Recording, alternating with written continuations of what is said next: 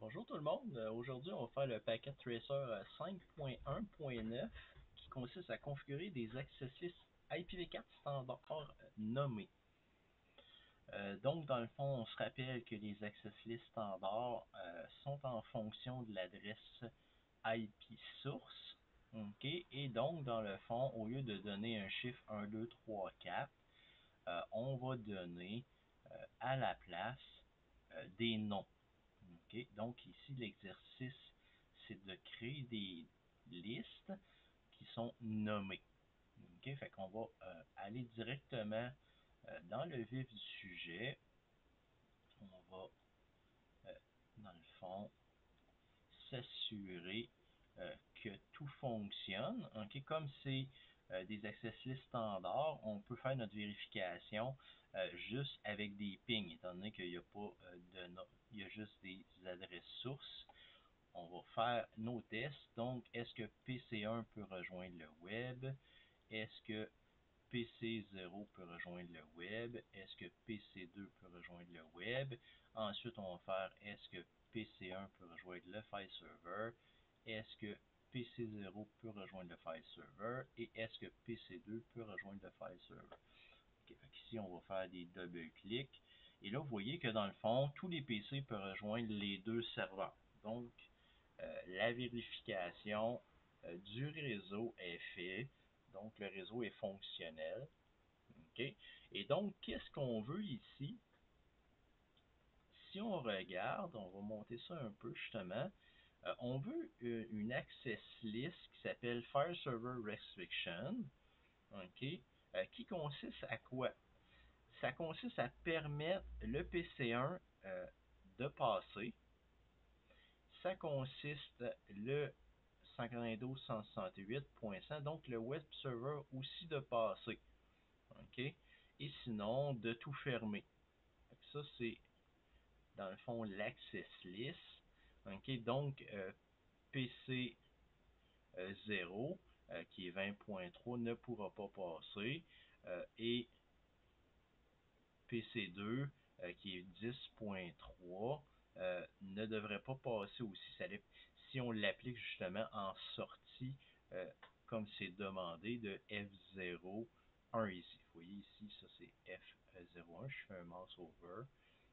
À partir de là, c'est ça qui est demandé. On veut restreindre. Donc, les trois postes de travail devraient être capables d'envoyer des pings au serveur si on le fait. Et là, dans le fond, on veut restreindre l'accès fichier. Donc, le web server devrait être capable de fonctionner encore pour tout le monde. OK. Et là, ici, dans le fond, si on retourne ici, le permit ici va nous dire aussi d'autres choses. OK. Fait qu'on va faire un autre test supplémentaire. Est-ce que web server peut rejoindre euh, le file Et la réponse est oui. OK. Fait qu'ici, notre permit euh, 100.100 euh, qui est notre file server ici, est capable de rejoindre le web server ici, qui est le 100.100, peut rejoindre le file server aussi. OK, fait va euh, faire, dans le fond, les demandes. On va aller dans R1. Et là, la première chose qu'on va faire, c'est faire la création de la liste nommée. Je vais aller enable conft et là, dans le fond, IP access list. Et là, vous voyez, si je fais un point je peux faire des extended et des standards. OK, fait que cette commande-là me permet euh, de créer des extended et des standards, étant donné que ce n'est pas avec des numéros.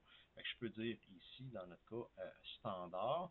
Et là, ben, je vais faire un copier-coller, OK, justement, euh, pour s'assurer d'avoir la bonne orthographe OK, sur mon nom. Ensuite, je vais faire un permit, et là, je vais faire un host. OK, fait que ça, c'est euh, un keyword pour permettre de ne pas mettre le wildcard. Et je vais faire un 192.168.20.4. Euh, on avait vu que ça, c'est pour permettre euh, PC1. Et on va, à partir de là, c'est complété. Permit host. OK, ensuite, on va faire un permit host aussi à 192.168.100.100. OK. Ça, c'est le permit pour le web server ici. Et ensuite, ben, on va mettre un deny. Il y a déjà un deny. Ça, c'est important de voir ça. Il y a déjà un deny euh, implicite à ce niveau-là. La, raison pour laquelle je vais rajouter un deny ici, any, c'est pour les compter. Sinon, si je ne mets pas ce deny-là, euh, je ne pourrais pas voir le nombre d'accès frauduleux à mon euh, file server. En d'autres mots, je n'aurais pas de visibilité sur les euh, accès non autorisés. C'est pour ça qu'on met souvent un deny any ou avec un access list étendu, un deny any any pour justement compter les accès frauduleux. OK? Fait qu'à partir de là, je peux sortir de là. OK, la configuration de l'access list est finie. Je peux faire un show access list. Et là, on voit euh, un access list standard nommé Fire Server Restriction. Et là, une des choses qui est très intéressante, On voit des numéros ici, 10, 20 et 30. Donc, les ACE, qu'on appelle les Access euh, Control Entry, sont numérotés et sont euh, à intervalle de 10 c'est une des, choses qu'on peut bénéficier, bénéficier, en plus d'avoir un nom intelligent au lieu de juste un numéro, on peut, à partir de là, euh, insérer des nouvelles entrées à travers ceux existantes et non qui s'ajoutent toujours à la fin euh, comme euh, un access list standard numéroté. Donc ici, c'est complété. je vais aller en mode de configuration. Et là, qu'est-ce que je vais faire? Je vais appliquer l'access list. Donc, je vais faire, euh, je vais aller sur l'interface. Interface F0 slash 1. C'est l'interface de sortie ici. OK? Et je vais faire IP Access Group. Et là, je vais appliquer en sortie le file server. Et là, ici, il faut euh, faire très attention euh, à l'orthographe, étant donné que c'est des noms, c'est case sensitive, ok, fait à partir de là, il euh, faut faire très attention. Euh, l'autre chose qui aurait pu être faite, c'est carrément un copier-coller du nom. Ensuite, je vais faire un end. Je peux faire un show run, comme on est habitué de faire avec, dans le fond, l'inclusion de qu'est-ce qui s'appelle accès avec l'inclusion de qu'est-ce qui s'appelle interface. OK. À partir de là, on peut voir que j'ai une IP access list standard qui existe. On la voit ici qui va être appliquée sur l'interface face Ethernet 01 euh, en sortie. Donc ici, euh, c'est fonctionnel à ce niveau-là. Et là, ben, je vais retourner à mes tests?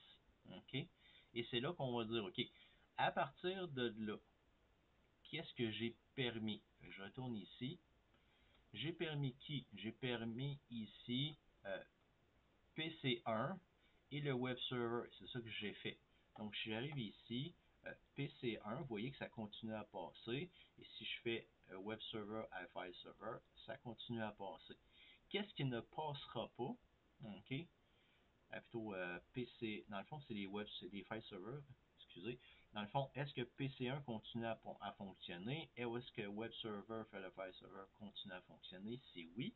Mais là, on a, mis euh, deny any. OK, fait que vous voyez ici, je fais clic, clic, clic, clic. OK. Et là, je fais un show sur mon access list. On voit ici qu'il y a des permits sur mes euh, plutôt des j'ai des matchs sur mes deux permits. Fait ici PC1 a encore accès. OK, fait que là vous voyez ça augmente à 4. Je fais ici euh, ça augmente à 4 aussi. Et là si je fais des des, euh, des, mes tests ici sur à partir de PC0 ou à partir de PC2, je reclique et là on voit des files apparaître. Pourquoi? Parce que là on tombe euh, dans l'entrée ici, le ACE ici, Access Control Entry, on tombe dans le 30 ici. Donc, il y a deux matchs qui viennent apparaître. Si je reclique ici et reclique là, euh, on voit euh, que ça euh, on avait vu euh, le Clear IP Access List. OK. Plutôt ici, le Clear Access List. Counter. Et là, ben, on avait le Word. Qu'est-ce que je peux faire? Je peux aller faire un copie ici. Copie. Paste. Je peux les effacer. Ensuite, vous voyez, Show Access List. Tout est revenu à zéro. Je refais des fails ici. Et on voit que ça tombe vraiment là. Tandis que si je fais des passes sur le premier, on voit qu'il y a un match ici sur 20.4, c'est normal. Et si je fais le web server, ça va être le .100.100 qui va augmenter. Et on voit que ça l'augmente. OK, fait il y a plusieurs avantages à avoir un access list euh, standard nommé. Premièrement, euh, le mot ici, le nom de l'access list me permet de savoir exactement ce que c'est. OK, fait qu'on sait que c'est un, access list qui va faire une restriction sur le file server. OK, première chose. Et l'autre affaire, on voit que ici, je pourrais rajouter un permit pour quelqu'un d'autre sans effacer ma liste et recommencer. Je pourrais aller dire, OK, euh, insérer la ligne 15, qui est un permit host, sur un autre PC. J'espère que ça vous a aidé à comprendre euh, les avantages euh, des access lists nommés. À la prochaine.